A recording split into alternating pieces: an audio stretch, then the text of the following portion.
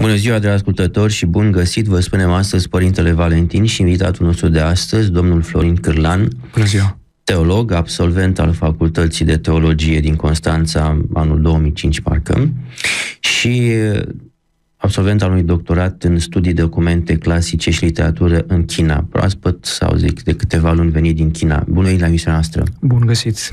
Dragi ascultători, sunteți alături de noi, nu uitați numărul de telefon 0241 515266 cu tarif normal rețeaua Intersat și numărul de SMS 0768123456 cu tarif normal rețeaua Telecom. Aveți pe un contact pe pagina de Facebook Radio Dobrogea, ne puteți urmări și video pe pagina noastră de internet radiodobrogea.ro Dragi ascultători, um, tema sau gândul nostru este, profitând de o astfel de situație destul de rară, aș putea spune, să învățăm cât mai multe și să vorbim despre câteva aspecte ale unor mărturii creștine, de data aceasta în China. Este un aspect nou, ne bucurăm de șansă și încercăm să-l fructificăm. Câți ani, spuneți, domnul Florin, că ați studiat în, în China acest efort de cunoaștere într-o lume deosebită, o cultură deosebită, în, în mediul unei, unor credințe deosebite. În China am uh, studiat timp de patru ani, deci din anul 2012 sunt plecat, dar dacă este să ne gândim așa la contactul cu cultura chineză și cu limba chineză în principal, este mai devreme. Este un efort început undeva în anul 2009-2010. Deci a studiat și în țară. Am studiat chineză. în țară puțin Cred că asta limba a fost și chineză. mobilul sau v-a creat puntea, că altfel e destul de Puntea, greu Evident, evident. Am fost absolvent al uh, Universității București, secția de limbi orientale, limbile chineze și persană și după aceea am uh, obținut o bursă națională de aprofundare a limbii chineze în China cu durată de un an, după care acolo, la universitate, orașul Beijing mi-a oferit o bursă de doctorat, având în vedere că aveam deja un master luat. Și am profitat de această o oportunitate. Ocazie, o oportunitate, da. Șansa va surâs. Bineînțeles, a trebuit să trec de niște examene de limbă, de mai multe da, condiții. Da. Uh, puteți face, veți noi privind din, din, din zona aceasta al, și geo, geografică și culturală, pentru mulți dintre noi, China este așa un tărâm necunoscut. Vedem din filme, din poste, din imagini, din... Uh, uh, fiind acolo și trăitor, n-ați fost doar într-o excursie, patru ani de zile evident, deja spune evident. foarte mult. Ați văzut și ceea ce oferă ei spre vedere și ceea ce nu oferă, că vă dați seama, se poate. Evident. Uh, puteți face o privire generală a modului de viață chinez sau mai aproape a modului de viață a creștinului chinez, a creștinismului de acolo. Succint așa încât să ne ce să vă spun, uh, dacă este să ne referim la romano-catolici sau la cultele protestante, au o viață, duc o viață religioasă normală, să spunem. Ca în Europa nu sunt diferențe, au locașuri de cult destul de mari, impunătoare, cel puțin romano-catolicii, cu preoții lor, nativi, episcopi, și duc o viață normală. La noi, la ortodox, este mai problematic puțin, poate o să avem ocazia să discutăm despre acest aspect este puțin mai deosebit, neavând locașuri de cult peste tot, ei fiind mai puțini. Este așa, să vă spun, cam, cam cum ar fi fost în perioada primară creștină, când se adunau mai, să spunem, mai pe ascuns. Mai discret. Mai discret, stăteau împreună, se rugau, aveau în mijlocul lor un apostol, un preot, un episcop care oficia Sfânta Liturghie, care câteodată era, câteodată nu era, se ducea să viziteze alte comunități, exact aceeași situație este în Sunt și din aceștia, din clerici, cum spunem, nativi sau sunt uh, din influență, știu eu, de, de pe la ruși sau de pe la... Uh, ei au fost, dar... Uh, Cred că acolo mult influența slavonă este a fost decât greacă. Exact, exact. A fost influența Rusiei, dar uh, au avut și episcopi nativi, chinezi, au avut doi, a devenit biserică chiar autocefală, Biserica Ortodoxă Chineză în 1957. Uh, dar după Revoluția, așa zisă, Revoluție Culturală din China, între anii 1966-1976-77,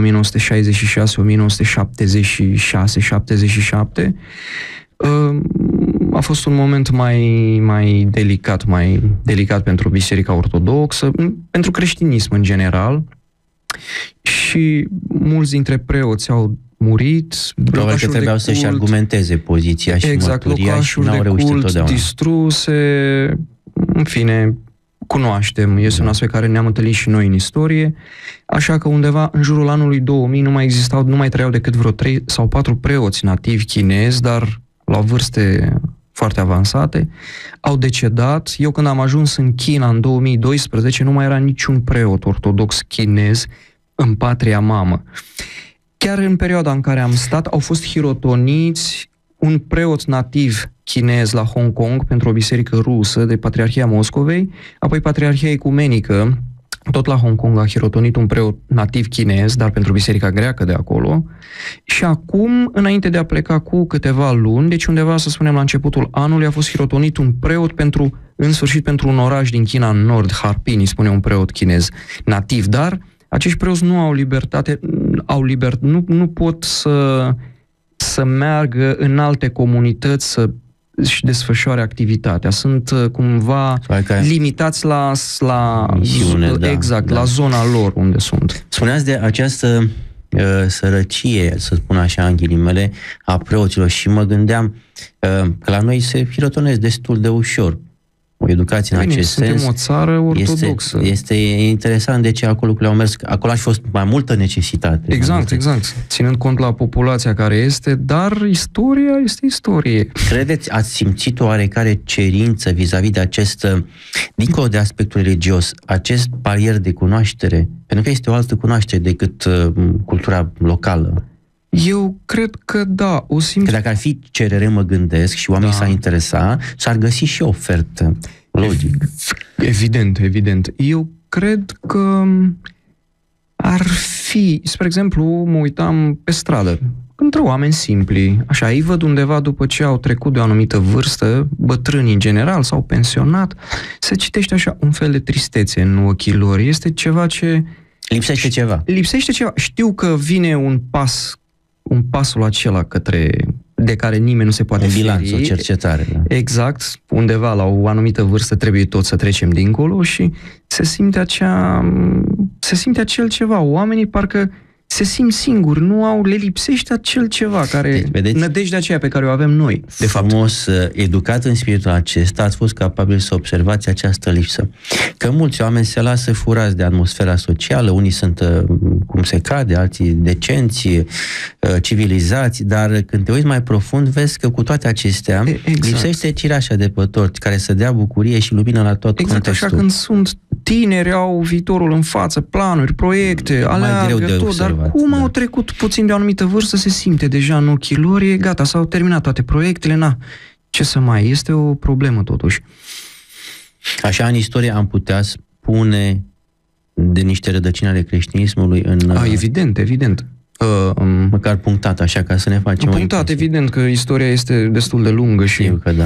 Uh, conform studiilor locale chineze, dar și celor occidentale, se pare că primele comunități creștine din China apar undeva în secolul 7 în China, în timpul dinastiei Tang, undeva în jurul anilor 600. Este o mărturie a unei, așa, unei, așa zis, unei așa zise stele, un monument făcut de creștinii de atunci, uh, în care, în care se specifică sosirea unui episcop din Imperiul Roman în anul 635, pe episcop îl chema Aluopan și sosește în China însoțit de 20 de călugări. Și de aici pleacă întreaga istorie. Deci, probabil, un creștinism uh, de factură catolică. Nu neapărat, A, vorbim de anul, vorbim de anul 635. Da, da, da, da. Nu, deci categorii uh, Iar bizantin, studiile, studiile protestante arată că vin din Siria și aici începe o dispută, o polemică.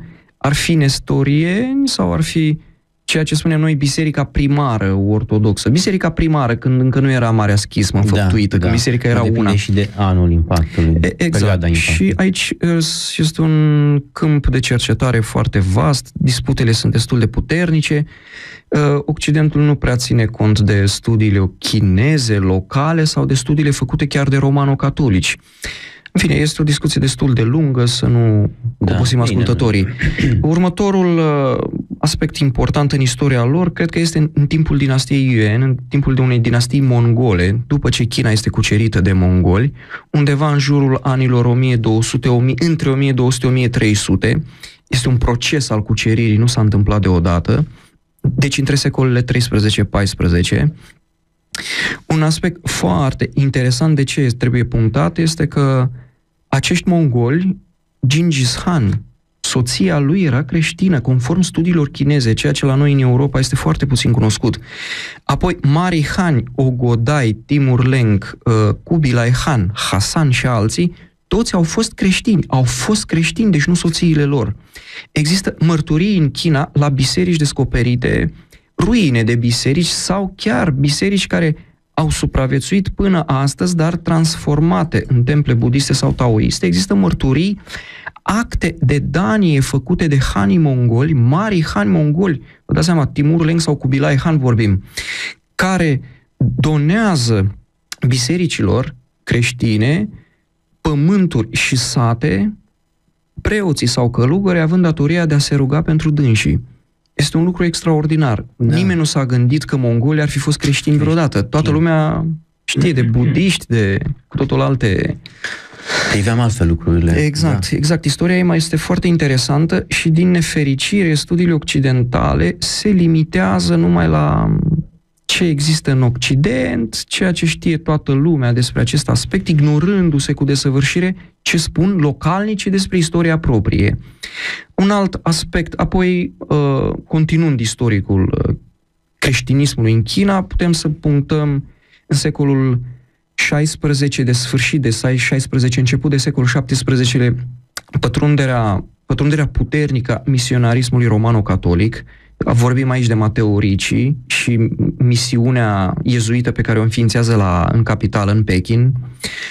Um, după cam la 100 de ani, nici cel mult 100 de ani după, nu, hai să zicem mai întâi protestanții, la 70 de ani după Mateo Ricci pătrund și protestanții, olandezii primii, apoi francezi, englezi și ceilalți, pătrund în zonele sudice, dar nu pot face o misiune așa cum o, privesc, o privește lumea protestantă astăzi datorită interdicțiilor făcute chiar de iezuiți, care ocupă niște poziții cheie în guvernul de atunci al Chinei, între, între mari demnitari, și sunt frânați de aceștia. Apoi, am zis la cam la 100 de ani, nici 100 de ani după intrarea lui Mateo Ricci, sunt primele mărturii ortodoxe. Spre deosebire de romano-catolici și protestanți, ortodoxi nu vin în China cu acea tendință evidentă de propovăduire sau să spunem da. așa, o tendință agresivă, cumva, exact. Da. Și de, din potrivă sunt cuceriți de fapt de este o zonă din nord-estul Chinei care uh, tangentează și Rusia pe fluviul Amur, îi spune este o regiune albazin numită, când împăratul din dinastia Qing este ultima dinastie, la 1685, împăratul Kangxi cucerește această regiune, un fort, și printre prizonierii luați va, va opri 50 de cazaci pentru garda drapelului imperial. Le va acorda niște privilegii foarte mari, nu este cazul să intrăm în amănunte să nu obosim. În, cel mai important este că le va da un templu budist acestor oameni pentru a fi transformat în biserică ortodoxă, pentru a pentru răspunde, exact, da. pentru a răspunde necesităților duhovnicești. Le aduce preot, printre ei era și un preot, de fapt, Maxim Leontiev, la moartea lui la 1712 împăratul Chinei solicită din Rusia trimiterea unui alt preot care îi ține locul și de aici începe, să spunem așa, evoluția ortodoxiei. Ceea ce este foarte important și vreau să punctez acest aspect este că ortodoxia intră în China să spunem așa, este de fapt se trezește în China. Specific ortodox, exact. adică se, cu pace ca o naștere. Exact, se trezește pe pământ chinez, exact. de fapt. Ca și când China sau sufletul chinez la un moment dat ar fi simțit nevoia și prin aceste conjuncturi istorice își gustă sau se împărtășește cu creștinismul ortodox existent în zonă. Cum exact. specific ortodox, cum am spus, fără tensiuni, fără exact, planuri fără tensiuni, ascunse, fără... frumos, fără să vină cu o tendință agresivă, să le arate ceva, nu. Au fost deci, până asta se vede purtarea de grijă, diferența între purtarea de grijă a Duhului Sfânt și interesul, interesul lumii.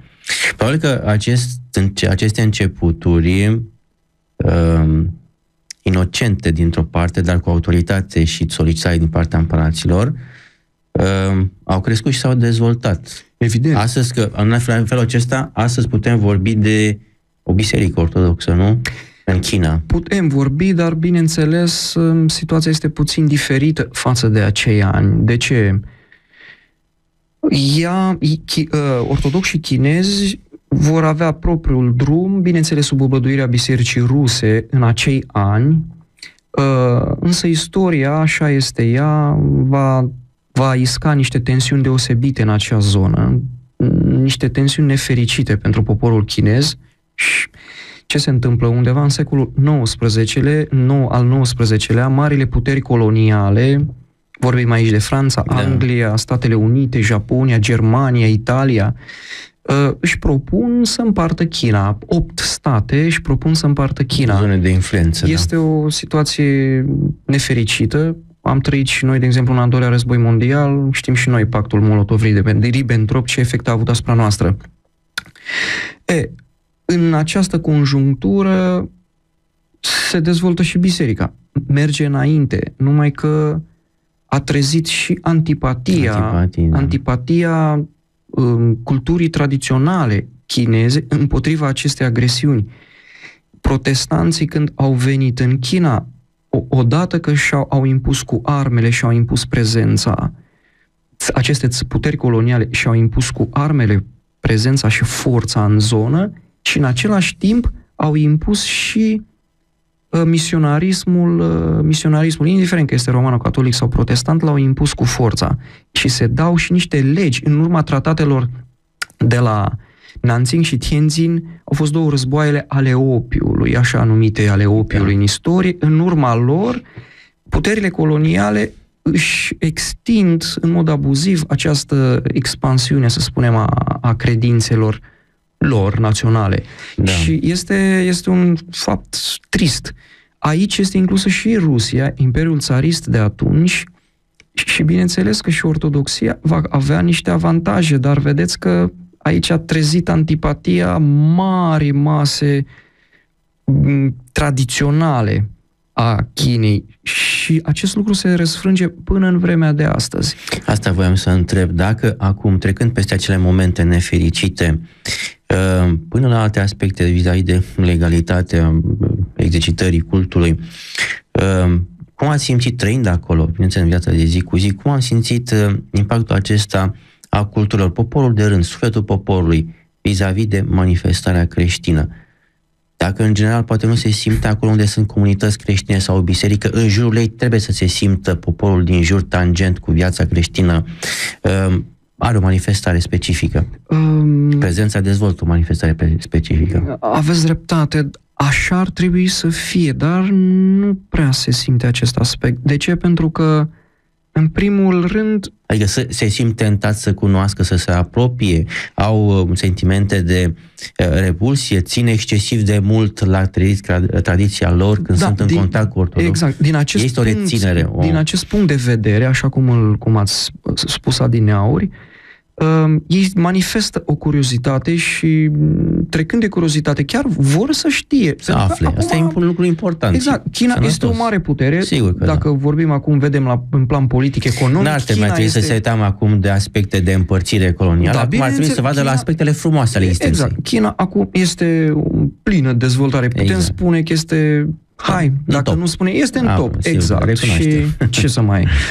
E, și atunci și lumea este, exact cum este și așa la scară macro întreaga da. țară și oamenii, individul este în acela, este foarte deschis, oamenii sunt foarte deschiși, vor să cunoască acest Occident cu care ei au intrat în contact în istorie, pentru că sunt culturi foarte deosebite și oamenii, tot oameni sunt, vor să fie împreună și sunt foarte curioși în acest punct de vedere.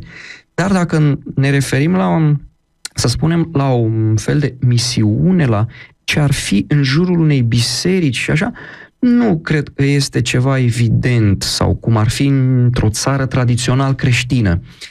Ei fac, există misiune, spre exemplu, se fac colecte de haine pentru zone mai defavorizate, da. China fiind o țară de o suprafață uriașă, există și zone defavorizate, zone de deșert, deșert deșertul Taklamakan, deșertul Gobi, Tibetul, și este nevoie. Și oamenii se ajută reciproc, dar nu există acel, um, acel sentiment, bă, ești într-o țară creștină, uite acolo biserică, în partea asta biserică, omul își face cruce, auzi un clopot sau da. vezi un om cu o colivă în mână sau așa ceva nu, nu apare, nu se observă în China. Adică la asta mă refeream când ziceam de, de uh, misiune, în virtutea unei cunoașteri mai profunde, să vezi în jur o bucurie a trăirii creștine această bucurie care să dea răspuns celor care, cum spuneați la început, sunt puțin triști la un moment dat că se simt fără perspectivă și să-i și provoace. Mă, dacă tu ești bucuros, deși viața trece peste tine ca și peste mine, uh, ce ai tu în plus față de mine? Da, da, da. De ce ești așa de deschis și înflânt, căutând,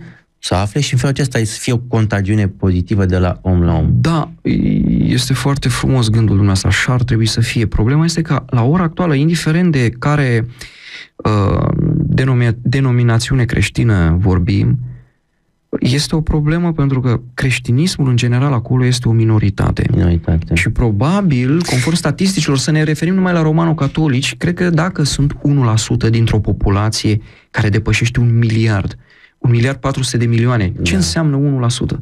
Este nimica toată, practic.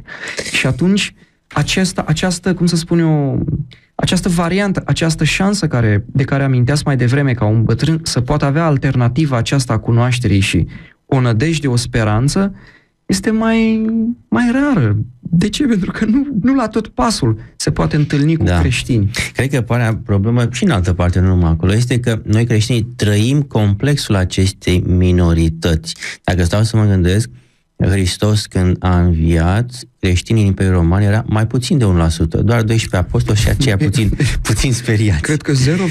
Și, da, și atunci totuși se poate. Și, să zicem, enzimile sau fermenții în viața noastră, în trupul nostru, da, sunt evident, foarte puțini, este, dar fac totul. Exact. Este, să spunem așa, aluatul care dospește exact, frământătura. Exact. Aluatul există. Vom vedea Cred viitorul că ce rezervă. Și pe exact, parcurs vom vedea. Mare. Dragi ascultători, o scurtă pauză și revenim. Cuvânt Continuăm, de ascultători, dialogul nostru cu domnul Florin Cârlan, teolog absolvent al Facultății de Teologie din Constanța în anul 2005 și doctor în studii docu- documente clasice și literatură în China. Așa cum spuneam și în prima parte, întors de curând de la aceste stagiu de, de cercetare de vreo patru ani, după cum ne istorisea la început. Să alături de noi, dragi ascultători, nu uitați modul de telefon 0241 515266 cu tarif numărul de rețeaua Intersat și numărul de SMS 0768123456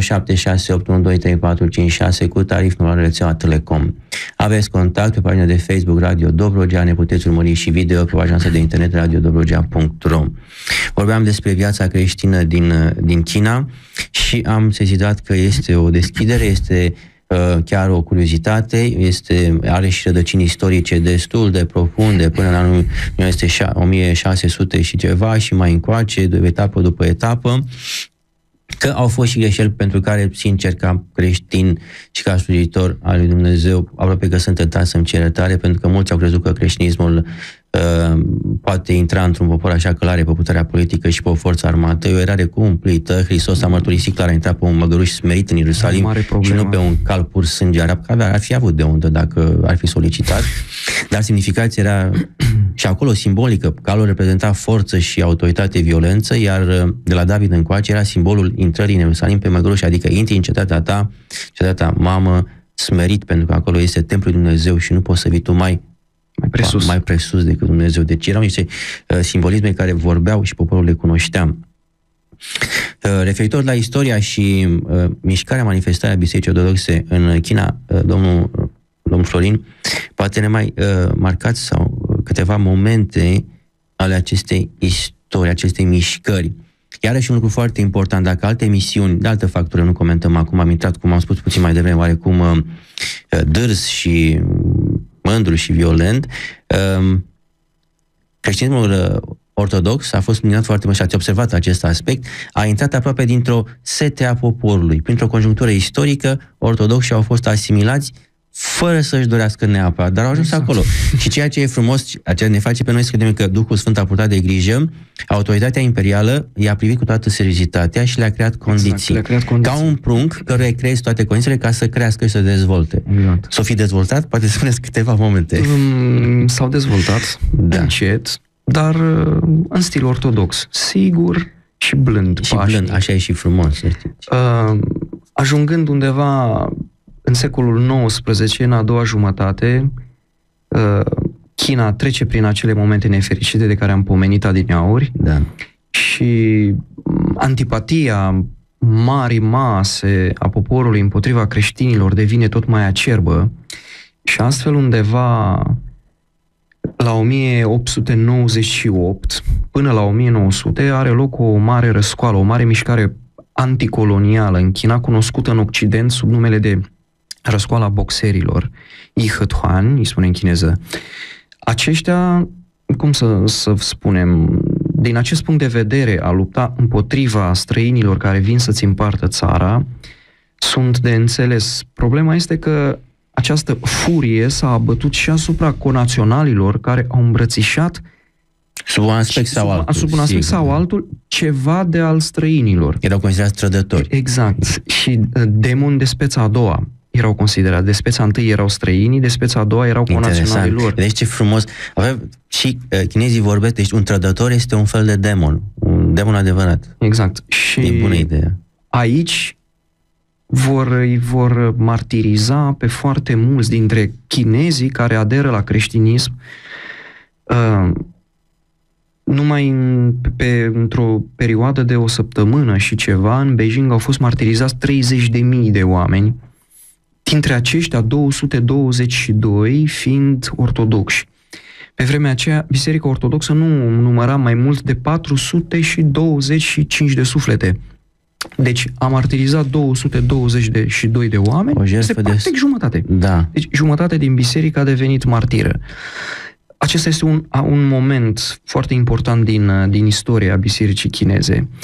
Și aici aș vrea să menționez un aspect deosebit. Printre acești mucenici, în fruntea lor se află primul preot ortodox chinez, deci un nativ hirotonit în istorie, el se numește Mitrofan, numele de botez este Mitrofan, Mitrofan. numele chinez este Yang Zi, Ianții. Yang Zi și uh, acesta în fruntea poporului, de fapt, este martirizat, nu intrăm în amănunte, este un aspect deosebit de important acesta. E, biserica în continuare pe sângele și jertfa acestor mucenici, într-un mod mm, in, miraculos. Specific numai, creștin, aș putea exact, spune, numai, ortodox. numai în Dumnezeu se poate Da. întâmpla așa ceva Sigur că da. de, deși fiind înjumătățiți, se vor dezvolta extraordinar de mult după aceea. Deci în numai 2 sau 3 ani se vor boteza 3000 de persoane.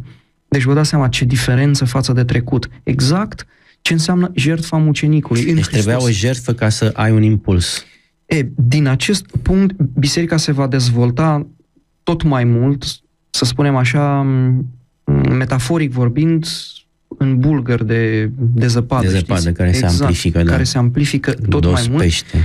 până ajungând la un moment culminant, cum am spus, în 1957, când Biserica Ortodoxă Chineză devine și autocefală de Biserica Rusiei, având chiar episcopi nativi chinezi. Menționăm pe preasfințitul Simeon Tu, episcop de Shanghai, apoi preasfințitul Vasile Yao, episcopul de Beijing, de Pekin, acesta din urmă trebuia chiar să devină și patriarh. Autoritățile comuniste ale vremii l-au, uh, l-au promovat și ca patriarh.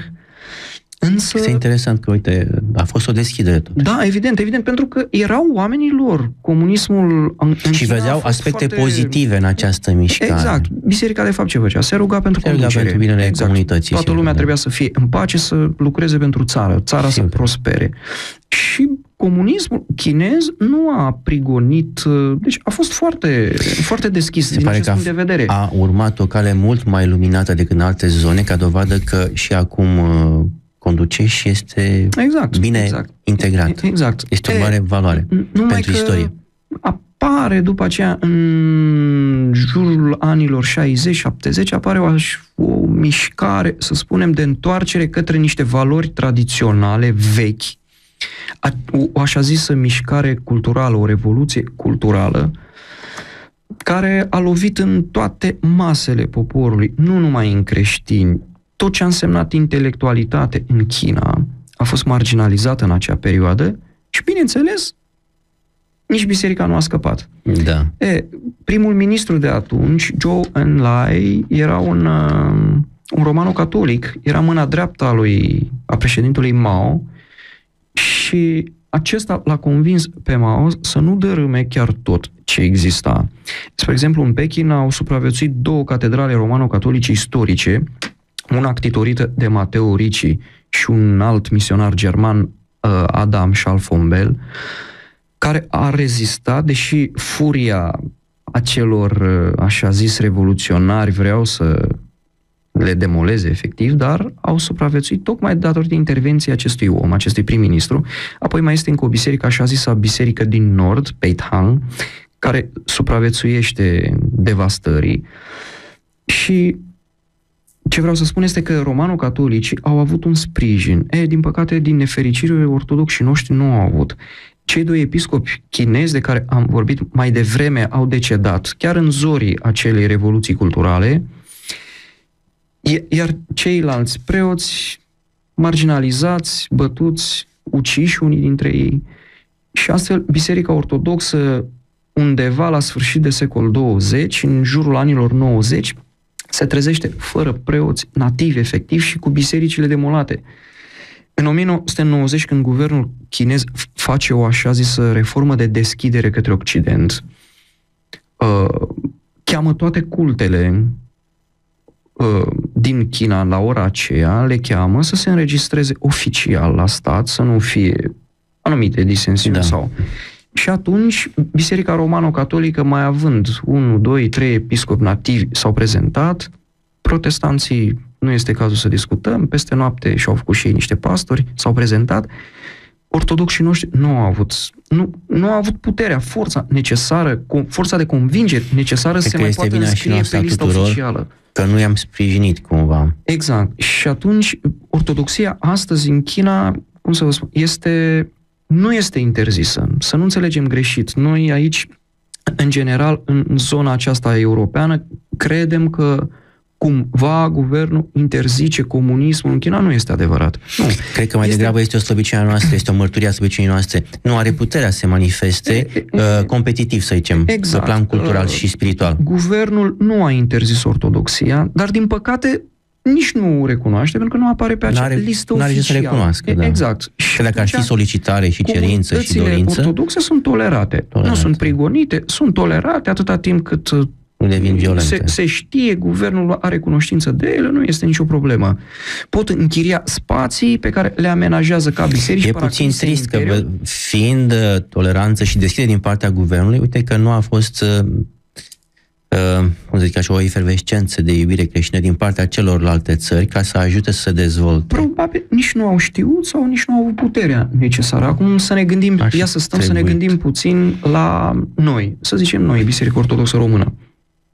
Dar în această situație se află și cea rusă, și cea greacă, și cine ar fi putut să meargă acolo și să facă o misiune? Odată bariera lingvistică, să ne gândim. Pe plan niște oameni pregătiți greu. ca dumneavoastră, așa. O biserică și poate permite să pregătească 2-3 ani oameni ca dumneavoastră să trimită Bine. și noi la 4, 5, 6 ani să inițieze niște uh, mișcări locale, Bine, o acțiune Mulțumesc locală. frumos, mă vedeți deja o persoană importantă.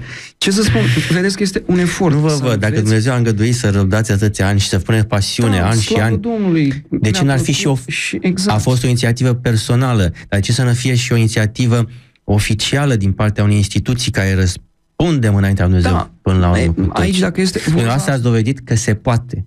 Instituția trebuie să o facă. Exact, se poate, dar sunt și niște aspecte, cum să spun eu, mai lumești care ar trebui puse Poți la să ajungi la sufletul omului dacă îți dorești, trebuie numai să vrei. Da. Vreau să vă întreb, uh, trăitor acolo, n-ați studiat tot timpul patru ani, ați avut și o față socială și mai departe, ați simțit viața de acolo.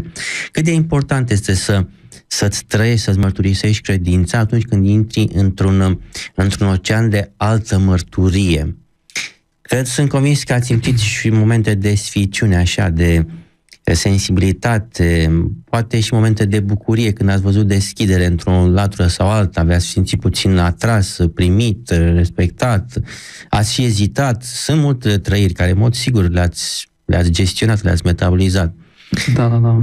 Ce să vă spun, experiența mea... Crezi că e important să trăiești cu adevărat credința, să... Evident, deci nici nu se discută. Dă o demnitate. Unde mergi, trebuie să străiești credința. Ai o, ai o identitate a ta pe care trebuie să o, o să ți-o exprimi. Dacă Spre nu o trăiești, exemplu, cred că este prima mărturie că nu crezi în valorile ei. Exact, exact. Și Spre atunci... exemplu, dacă îmi permite, voi face o mică, da. o mică divagație. Am avut ocazia să fac și, să fiu, să merg și în Iran, am avut o bursă de studiu pentru limbă persană. Pe asta voiam să vă întreb de la început când mi-a spus de chineză și persană, zi, și când faceți și un doctorat a, am, în Iran? Am mers deja în Iran și am Sau văzut Iran. și pot să fac așa o mică comparație. Iranienii, fiind musulmani, sunt foarte atenți la fiecare persoană și dacă te observă că tu, spre exemplu, miercurea și vinerea nu ții post, deci ei te respectă. Le spui, sunt creștin, sunt ortodox, sunt foarte respectuoși. Deci ei știu ce trebuie să facă un creștin. Exact. Este foarte interesant. Știu ce trebuie să facă un creștin și în momentul în care te vede că tu nu ții post, deci fiți atent și interesant, imediat te întreabă, Păi de ce tu nu așa? Dacă Încep tu... să vorbești degeaba după aceea, exact, nu te mai exact, ascultă nimeni. tu începi să zici și eu, el imediat te-a mirosit. Frumos. Te vede că tu cu credința asta ești puțin la pământ și imediat încep presiunile de altă natură. Păi uite Allah cum este, uite islamul cum îți prezintă. Adică și atunci... încep să te... Exact. În momentul în care tu ții, poți că te întreabă, păi, dar tu te observă, te ispitesc așa și te vede, păi, dar tu ce nu mănânci mai azi? Uite ce mâncare bună, nu ai, ai pește, ai carne. Și spui, păi nu, că noi ținem post asta, mă... Ah, sunt foarte respectos și imediat, cum zic te eu, respectă. imediat, da, te respectă, da, domnule, uite, un creștin adevărat. Și nimic, nu, nu există nicio presiune să-ți spună că ceva de Allah sau nu, nu, nu. Sunt foarte respectuoși. Și de asta spun, oriunde te duce și acum revenind la China, este aceeași situație, cred. În momentul în care tu, ca și creștin ortodox în, în principal, îți trăiești viața ta religioasă așa cum știi tu cum poți, dar încerci să mergi tot înainte, indiferent pe ce, unde te-ai afla, este de bun augur, este, este un lucru deosebit care oamenii observă. Cei din jurul tău te observă și constată. Automat vor vedea, vor vedea o diferență. Ca să vă spun sincer, eu, propria mea, experiența mea personală, când am ajuns în China, am fost puțin speriat. De ce? Am intrat într-o lume budistă. Da, da. Budistă. Temple budiste la tot pasul sunt. Este... Și atunci... Te impresionează. Te impresionează, exact. Și trebuie să vezi, mă, stai așa ce fac ăștia, cum, cu ce se... Cum e practica lor religioasă, ce zic, ce propovăduiesc. Pentru că privești lumește, ai sentimentul că ei sunt mulți și tu singur. Exact. Nu și trebuie așa. să vezi care este, trebuie să vezi care e treaba cu ei, că nu, nu poți așa oricum să vii și să începi să strici pe stradă. Eu sunt ortodox, uitați-vă la mine, ce faceți voi acolo, budiștilor? Nu, nu, nu. Da. Au, și oamenii au și ei valorile lor. Și, bine, aici este o discuție foarte largă referitor la virtuțile, așa zisele virtuți budiste, dar, cum să spun, nu contează în ce loc ești, trebuie să, trebuie da. să ai identitatea ta. Într-adevăr, sunt multe aspecte. Cu ajutorul Dumnezeu poate ne mai întâlnim vreo emisiune și discutăm și alte aspecte. Cu mare plăcere, dacă este Doamne posibil. ajută. Într-adevăr, de ascultători, lumea rămâne o grădină și o provocare pentru mărturia iubirii noastre în Hristos. Așa după principiile pe care Hristos le-a, le-a lăsat nouă și niciun caz după principiile după care se mișcă lumea, pentru că atunci o trăvim mărturia noastră și nu iese. Istoria ne mărturisește că nu iese. Mulțumim foarte mult, domnul Florin, pentru bucuria și efortul uh, săvârșit. Mulțumim, Doamne, că ne-ați ascultat. Vă așteptăm să viitoare la aceeași oră. Doamne ajută!